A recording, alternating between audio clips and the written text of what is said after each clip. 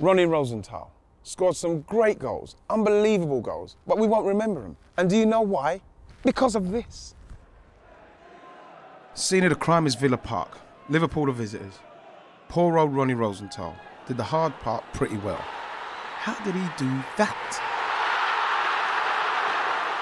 Well, you know, a lot of times during the course of a football season, those of us who just watch it for a living or for fun say to each other, I could have done that, I could have done better there.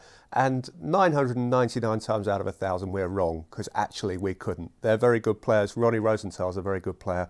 But here was the one occasion where I would have scored, and so would you.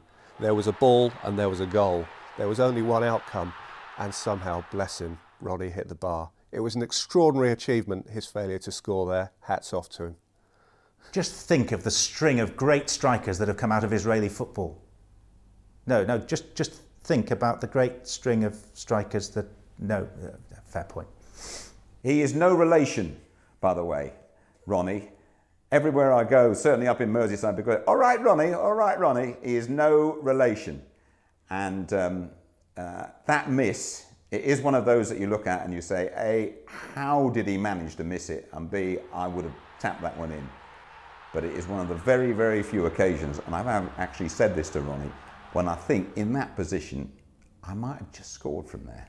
I think where for me Ronnie really lets himself down is not in hitting the ball, because it is a shocking miss. But having done the same myself a number of times, the first thing you do is look at the pitch and let the fans know. Look to the crowd, look to the pitch as if there's a bobble. Ronnie takes it far too much on the chin. It's almost everything comes on him. Straight away, look at the pitch, blame the groundsman, and you can usually get away with it.